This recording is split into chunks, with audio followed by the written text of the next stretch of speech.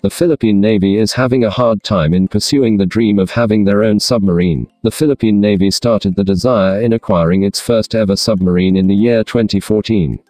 The Philippine Navy started the submarine acquisition project with an approved budget worth 75 billion Philippine peso under second list of Horizon 2 phase of the revised AFP modernization program. The Philippine Navy's submarine acquisition project currently has three contenders the DSME-1400PN diesel-electric submarine of South Korea, a Sfatsreis class or the Type 214 submarine of Turkey, and the Scorpene-class diesel-electric submarine of France. The DSME-1400PN submarine currently facing major issue with Indonesia regarding its three units Nagapasa-class submarine from the Indonesian Navy. According to some reports, the Indonesian Navy encountered engine overheating, reduced power output, failure to reach designed maximum speed, among others which might lead to cancellation of procurement for another batch of three submarines.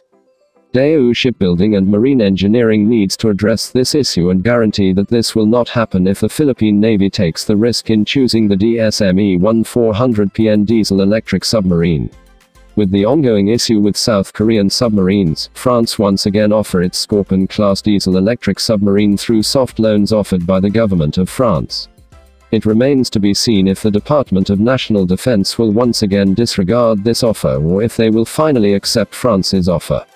End.